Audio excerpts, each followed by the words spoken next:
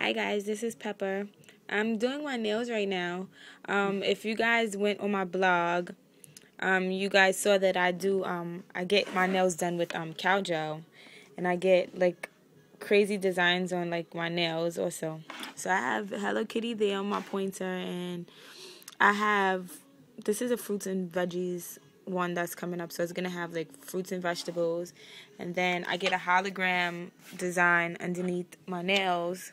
Um, and it's hard to find someone that does it. So I love it. Like I get it done all the time, and it makes your nails really um strong, and they grow with this. Um, it's not acrylic. Um, it's Calgel that um goes under a UV light. Um, what else does it do? Hmm? Well, I said, what else does it do for your nails? What? Like Calgel. What else? Cow gel? yeah. Um, make it healthy.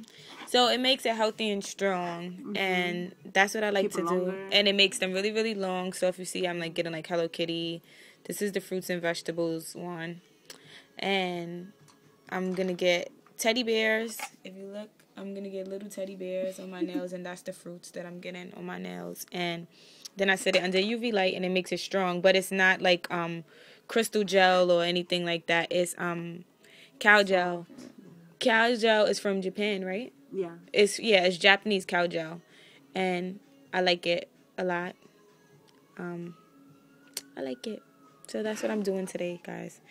Doing my nails, and it made my nails grow really, really strong and long. So my nails are like really long. Some of them are breaking, but that's because of my Oh, fault. How many you wanna put the? Um, this one? I want two, two bears. So I'm getting two bears on my pinky, so you guys can see. So that's what I'm doing. Um, so a bunch of hologram. This Yeah, that this- one, like one that way and one that way. That way. Yeah. Uh huh. Aw. yeah. Mhm. How about this? There. Do you think I should put any colors underneath